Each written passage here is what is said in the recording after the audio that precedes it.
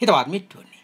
පහුගේ දශක කීපය දිහා බලනකොට ඊටමම පැහැදිලිව පේන කාරණයක් තමයි අපේ රටේ වර්තමාන දේශපාලනයේ තීන්දුව වෙන්නේ ජාතිවාදය ආගම්වාදය වැනි පටු කාරණා මත.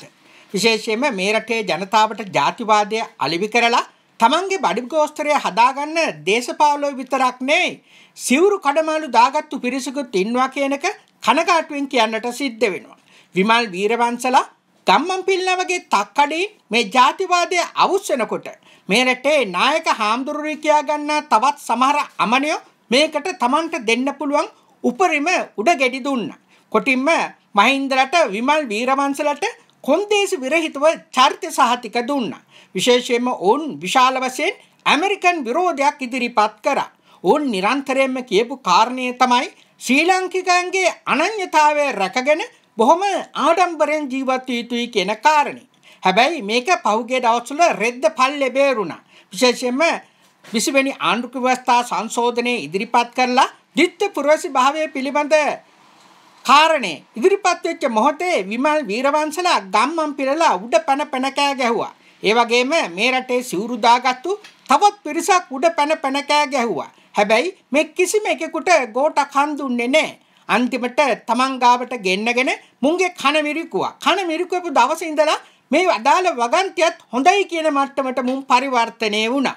මිත්‍රෝනි පහුගිය දවස්වල ඔබට මතක ඇති ඇමරිකන් දූත මණ්ඩලයටත් එක් නිලධාරියෙක් ලංකාවට ඇතුල් වුණයි කියලා කොරන්ටීන් නොවි මහා උද්ඝෝෂණයක් මේ රටේ ඇති කරා. විශේෂයෙන්ම මේක දේශපාලන තලයේ ලොකු මාතෘකාවක් බවට විමල් වීරවංශලා ගම්මන් පිරලා විතරක් නෙමෙයි මිනිස්සුන්ගේ දාන කාලා අනුන්ට කඩේ යන හාමුදුරුවොත් ඉදිරිපත් වුණා.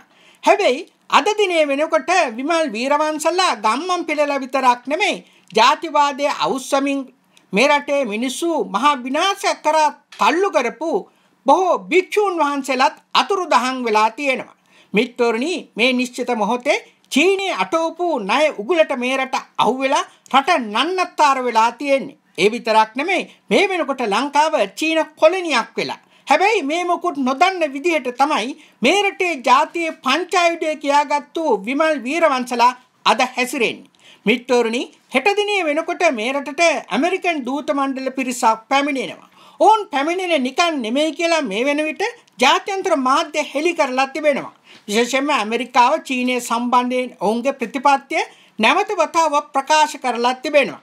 විශේෂයෙන්ම චීනයට එරෙහිව ලෝකයේ අනෙකුත් රටවල් එක ගොන්නකට ගැනීම තමයි ඇමරිකාවේ අරමුණ.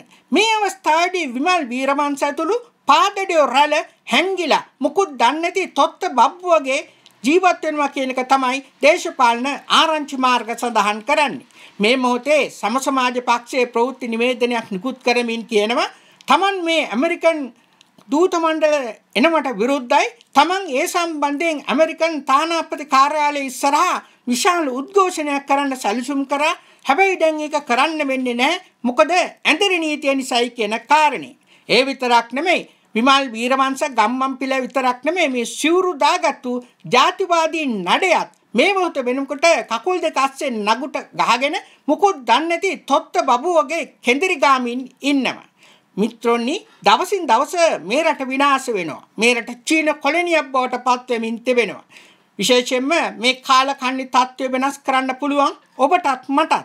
මොකද මේ රටේ විධායක වස්තාදායක අධිකරණ කියන පරමාධිපත්‍ය තියෙන අපිට. ඒ නිසා මේ කාලකන්ණි ක්‍රමය වෙනස් කරන්න. අපි සියලුම දෙනා ඒ සඳහා හැකියාව හැකි. මග පෙන්විය හැකි දේශපාලන කණ්ඩායමක් සමග පෙරට යමු. මිත්‍රනි අරගලින්තුරු ජයග්‍රහණයක් නොමැති බව ඔබට සිහිපත් කරමින් මා ඔබෙන් සමුගන්න. ඔබ සැමට ජය